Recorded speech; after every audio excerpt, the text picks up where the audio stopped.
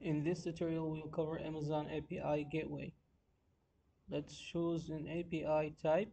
I'll choose REST API. Build.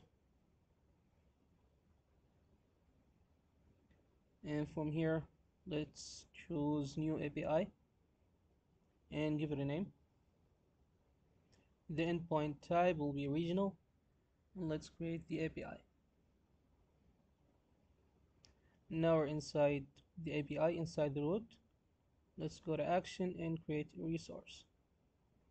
Let's name our resource. I'll name mine fetch data.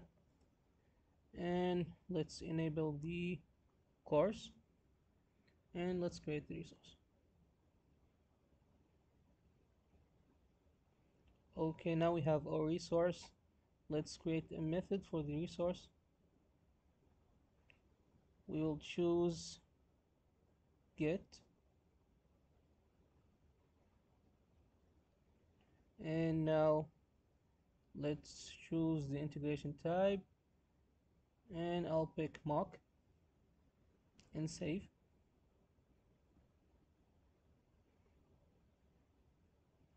From here let's go to integration response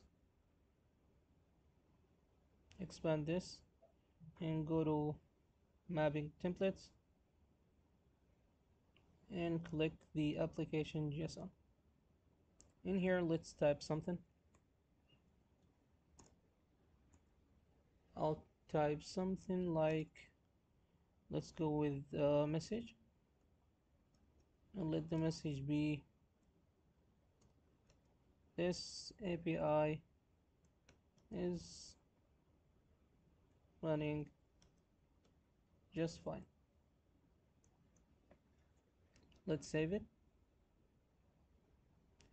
And let's deploy our API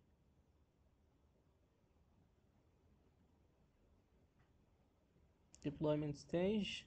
Let's create a new one. Now I'll name it for example dev and deploy. Now we have this link. If we click on it we will see. We're supposed to see the message but the path is not correct. Let's type the whole path. So fetch data. And here we can see our message. This is it for this tutorial. In the next tutorial we will see how to work with API and Lambda together. See you in the next tutorial